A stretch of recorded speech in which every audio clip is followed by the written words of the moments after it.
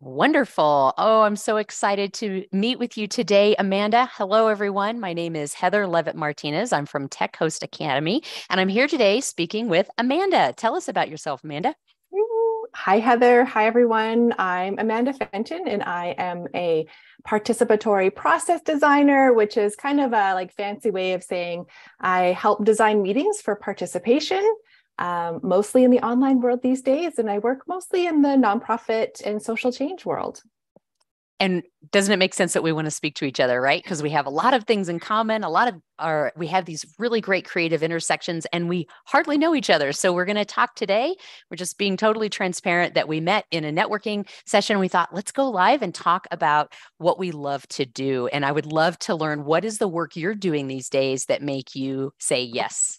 Oh, this is such a juicy question. I um I was reflecting on this before we got to be live together and some of my work these days that's just lighting me up is um, called what a colleague of mine is calling communities of action. So some folks that are working on um, social change. Uh, one example is the Transform the Family Justice System Collaborative. So we have these these groups that are all working on some strategic objectives who are coming together like every couple of months, you know, over, you know, gosh, I think we're like 2 years into some of them now. Um, so that sort of distributed work um, with folks that are deeply committed to really complex uh, social change issues is, is some of the work that I'm really enjoying. Like, how do we do this online well together? Um, and then the other thing is hybrid gatherings. I've been super geeky and super into like, how do we do participatory hybrid gatherings really well for roomies and zoomies? I love that you say that. And I can't wait to dive more into what you're actually doing because I can hear a little bit around you're doing some facilitation, but it also sounds like you're also um, working in between the meetings too, right? Helping teams as well.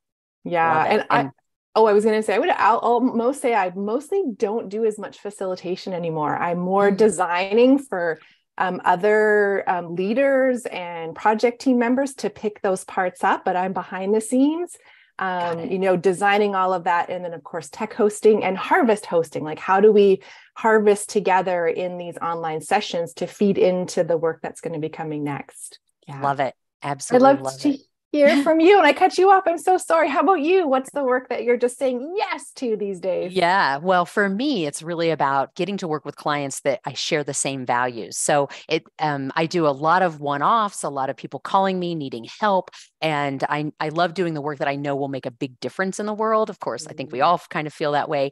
And while I love tech hosting for artists and calligraphers, because I do a lot of that, um, I love to work with organizations that are working to protect human rights and and or anyone that's using an appreciative inquiry approach um, that's what gets me really excited. So um, a lot of my i do have some longstanding clients that i love to work with but i love working with new folks too because i love new challenges. So that's mm. pretty much my big thing. Yeah yeah. Mm. can i go back and ask you a question more about uh, because you said you're doing less of facilitation but are you working with um, do you have longstanding clients or do you have are you um, open to new clients Mm. Um, y- yes, yes, and yes. I guess is the are the questions. Mm-hmm. Um, I have. I'm fortunate, I think, to have some longstanding client relationships um, where you know they call me on a as needed basis, or mm-hmm. um, we're sort of committed to a stretch of work together. Um, I mean, I think really relationships are so key to to how I work. You know, I I have a colleague who says, you know, friendship is the business model and you know that's really you know how when I, I show up at my best is like when i'm working with people that like i want to have a cup of tea with you and let's hang out. Um, so fortunate to have some long-standing client relationships um, and always welcoming new ones. Um, nice. similar to you. You know i do a lot of one-off sessions like hey amanda can you help us design and host this event this symposium this thing um, and then it might go great and like that's it you know they might reach out to me in a couple more years. So it's a it's a lovely mix i would say. Yeah i like to have that mix too. It's kind of fun to be have new things to do every day. I swear every day is different for me so. Totally totally totally. Um uh, I feel like you were going to ask me one more question, so I'm going to pause. I kind of do. I, I it's like I want to know how when you talk about design, um, it sounds like you get really excited about that, and I do too. And I'm I'm curious. And you talked about harvesting as well. Can you say mm. more about your approach and then what that harvesting might look like? Kind of paint a mm. picture. Yes, totally. Um, so my my approach to design comes from the art of hosting community. Um, there's a kind of a particular tool called the chaordic stepping stones, mm-hmm. um, which is what really my approach to design comes from. So it really begins with starting with a, a core team. So having a, a group of folks, not just me, not just like the client, but actually a group of folks made up of folks who will be coming. So we have a, a good diversity of perspective right at the very beginning in our design work, um, which is so important. Like I you know, I know a lot, but I also don't know. I'm not a young person. I'm not someone who lives with, say, a visual disability or um, different lived expertise. And so having that, like right from the very beginning on our design team, is so, so important. Um, and then we go through a series of questions together. We start with, like, what's the need? You know, what's going on around us that makes us important? Um, what's the purpose? Like what do we want to do or create or inspire you know as a result of our work together? Uh, mm-hmm. who are the people coming? You know why does this matter to them? Why does it care? Why do they care? Mm-hmm. um, and the principles you know what are how are the ways that we are together um, you know they're just as important as what we do and so um, this is where people can bring in if they have equity orientated principles um, it, you know we we need to build that into our meetings and even yeah. into the design of our meetings Absolutely. So that's the a little bit of the short version of some of the the. It's very collaborative. It's very iterative, mm-hmm. um, and then the harvesting is a really big part of that. It's like, what do we want to harvest? Um, and just to say, I know some people have like a bit of ouch, you know, with that word because it can have some connotations. Sure. Um, for me, it's like reminding us that we're living systems, and so yes. you know, what do we want to have in our hands and also in our hearts? Some of the intangibles uh, by the end of our time together. Um, yes. And then we plan for that, we design for that, we build it in. I love it. I love it. Thank you so much. Not only do you paint a beautiful picture, but I feel good just listening to you. a lot of people ask me if I'm art of hosting, and I'm like, no, I've never taken a class. I'm appreciative inquiry, but it's so aligned, right? So we we have a core team. We we use the five phases for us. It's about defining and discovering. And for the dream phase, I actually have a series of visual templates that I use for the harvesting piece. Um, and one of them is a needs assessment based on appreciative resilience. What do we mm. truly need in order to meet those desired outcomes? And then um, thinking about the needs of the group and everything from what's going to help them um, appreciate, love, um, inquire, venture, and um, and evolve into what we want to become. And I just love that you were talking mm-hmm. about how it is iterative, right? Yeah it's it's so it's very collaborative and I love that work and i can't wait to have more conversations with you about this too but i'm sure we could dive let's talk about other things. Let's talk about I'm, I'm curious and i just love it. We geeked out quick. Is there anything else you want else you want to geek out on or anything else that's getting you excited today um. Oh gosh. Well, first of all, I feel like I would love to ask a million questions just based sure. on on what you shared. But um, maybe maybe just to do that, um, just knowing how powerful visuals are. Um, mm-hmm. You know, in in even in the before times when I worked a lot mostly in person, you know, being able to bring in visual templates for people, um, et cetera um, just i would love to hear like what what do you love to do in the online space to to be able to support groups in their work either in their planning work but also like when mm-hmm. they're live together Absolutely. And this is both has to do with me as a visual practitioner and an AI uh, facilitator, but even as a tech host, even as a tech host in my classes that I teach um, at Tech Host Academy, we use all kinds of third party collaboration tools, right? So Mural and Miro and um, anything where we can communicate with each other. I'm a big proponent of Padlet because it's so fast and easy. It's like, boom. Um, I work with um, a lot of groups that are retired age and older. And so a lot of them don't have a lot of, they're not interested in doing mural. If they haven't touched a sticky note maybe in 20 years. So why would they like to do mural, you know? And that's, it can be really complicated. And so I love to create an instant gallery of images and ideas, say in Padlet. Mm. Um, so that's a big piece for me. And, and, and you use those tools too, right? I do. I do. Yeah, yeah absolutely.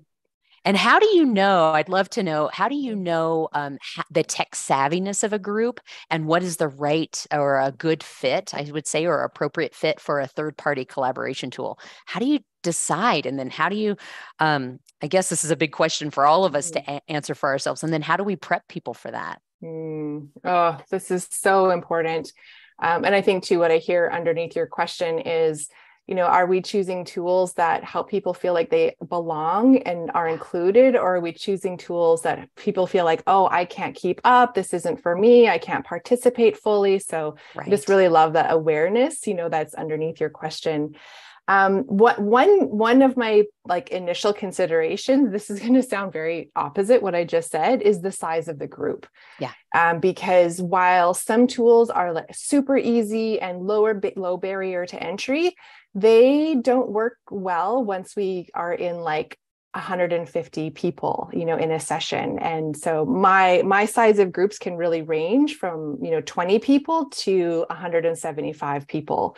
Mm-hmm. um, and so sometimes like the first you know decision point for me is like how big is the group yeah. Um, and if we're, you know, pretty large, like a hundred plus, then I am going with Miro often.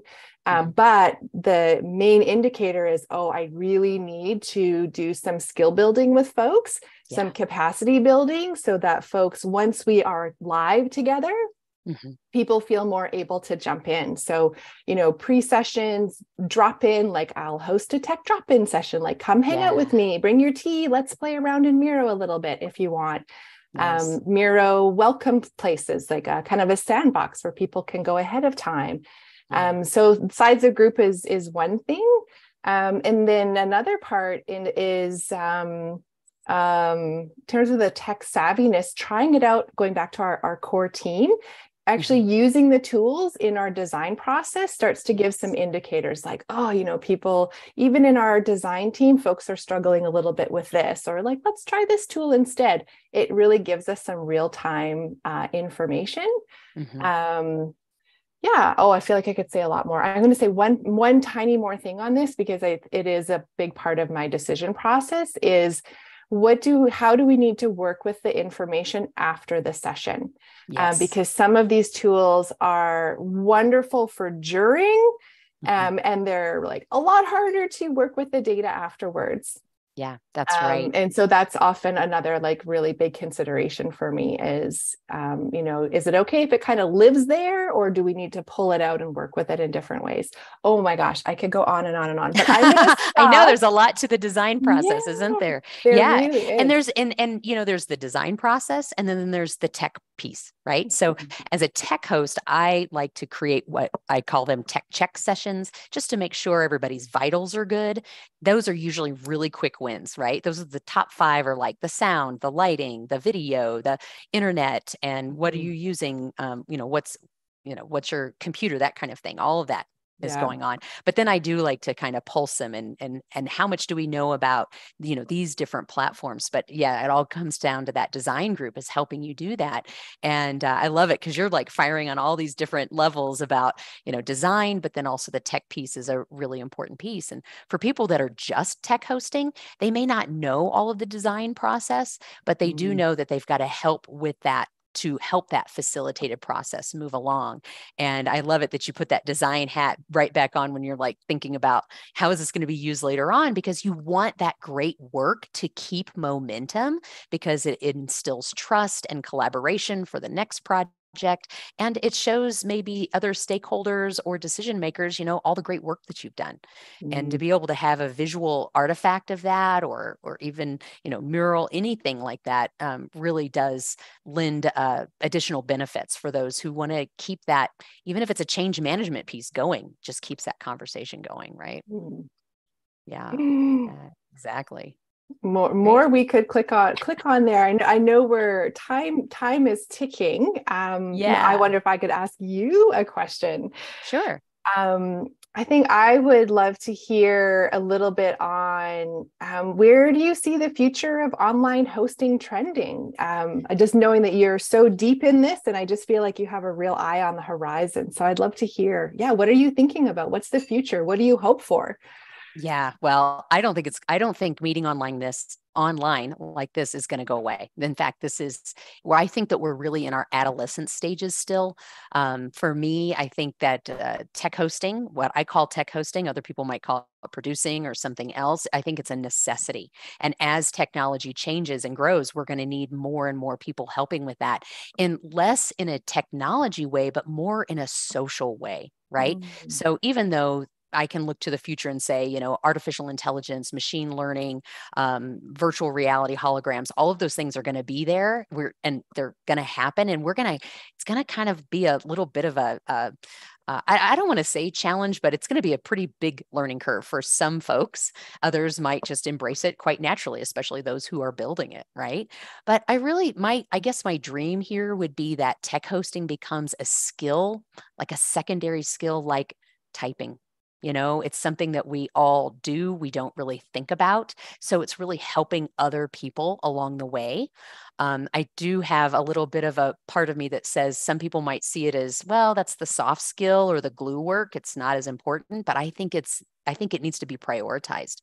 And I think it would make it a lot easier for all of us if we did just a little bit of that, if everybody had a little bit of that, they don't have to have all the design, they don't have to have all the technology, yet, but I think being willing to get into an online session and work together is going to be really key.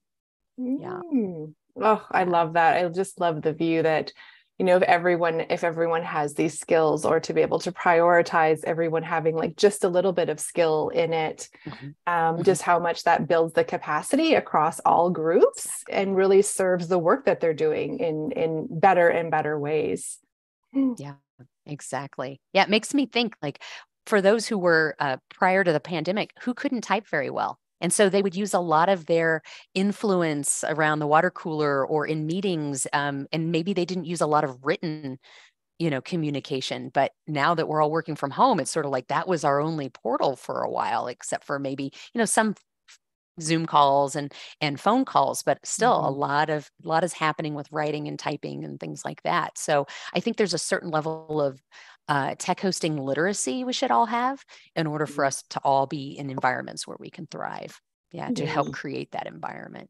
Yeah. But awesome. yeah, we could I have a feeling we could talk forever. I agree. I don't know if anybody else I don't know if anybody else is enjoying this. And if you are, please let us know in the chat. Um, but I would love for folks and let's do this again. Let's plan on doing this again sometime. But how can folks get to know you or get to find you, Amanda? And uh, I let me start with this who do you want to work with next? And maybe they'll maybe they'll um, reach out to you. Oh cool. Um, i would say i would love to work with groups who are thinking about hybrid. You know that would be one thing folks that um, want to do hybrid in participatory ways and, and like help us think through this. You know how do we design and what kind of tech needs do we have? I'm super interested in in that kind of work. Um, and yeah i would say um, what is the other thing? Oh, I loved also doing skill building, like folk kind of picking up on what you were just saying. So mm-hmm. organizations or groups that are like, hey, can you just like, you know, host us for a little while so we can practice our tech skills, our online, you know, designing for participation skills. So that uh, capacity building part of my work, I also really love and, and welcome that too. That's wonderful. It's so needed. I mean, if we all did that, we could all just work and collaborate so much easier together. Thank you so much.